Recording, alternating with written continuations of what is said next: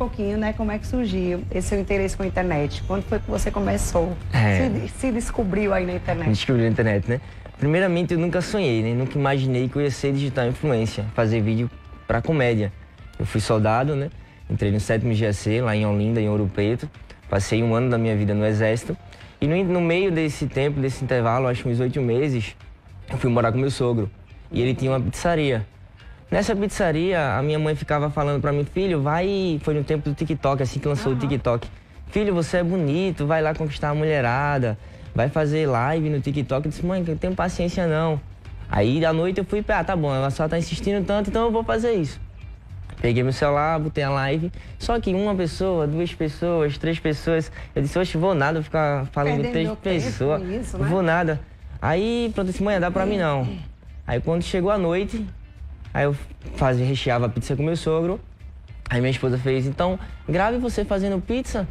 Grave você fazendo pizza, que vai que deixa um engajamento. Pronto, eu comecei lá a fazer a pizza, só que eu sou um cara muito animado, eu não consigo ficar parado. Tudo que eu faço tem que ser com alguma música, escutando música, dançando. Então eu comecei a dançar, escutando música e recheando a pizza. Quando eu olhei pra live, velho, bombando. 10 mil pessoas na live, eu digo, meu Deus. Você disse, é aqui mesmo. É aqui que é eu vou esse, entrar, é aqui né? que eu vou entrar. Achei. É, achei. Aí começou, então eu comecei a inovar.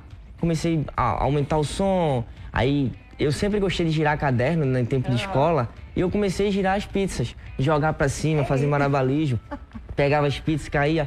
Tá, então a galera começou a gostar disso. Aí eu disse, não, então eu vou sair do quartel e vou viver minha vida de digital influência. É isso, meu rumo é esse. É. Meu rumo é fazer a, a galera atrair a mim. Aí comecei a live bombando 10 mil, 11 mil, 12 mil, 15 mil e ia. A live bombou.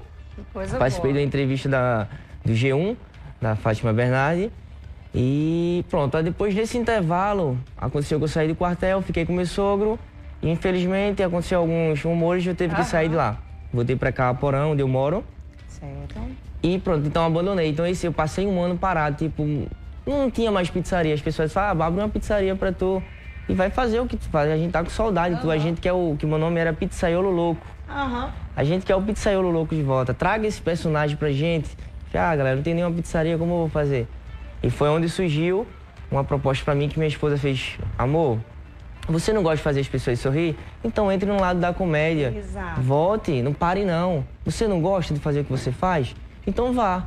Aí foi quando eu entrei no lado da comédia. No meu primeiro vídeo, aí aconteceu de um humorista me ver, conhecido como Abdias Melo, uh -huh, uh -huh. lá de Recife, me viu e disse, cara, tu vai vir passar uma semana aqui comigo. E assim ele fez. No outro dia lá, passei uma semana com ele Fizemos vídeo ele olhou pra mim e fez: Seu nome não pode ser mais Pizzaiolo Louco. Seu nome não pode ser mais Pizzaiolo. Você não mexe mais com pizza. Exato. Vamos mudar esse nome? Vamos deixar esse nome mais forte? Um, um influência? Você agora é digital influência. Está certo. Ele fez como é seu nome? Eu fiz é Everton. Ele fez não vai ficar vai Tom. Tom. E o final do seu nome é Oliveira. Ele fez para não ficar igual a Lei Oliveira, vai ficar Tom Oliver. Isso. Oliveira e tirou o Eira ficou Oliver. Que legal. Aí onde nasceu o personagem Tom Oliver. Maravilha. Que saiu o Louco saiu e surgiu o Tom Oliver, que comediante. Maravilha, viu? Bora ver um vídeo dele aqui? Bora lá, vai, solta aí.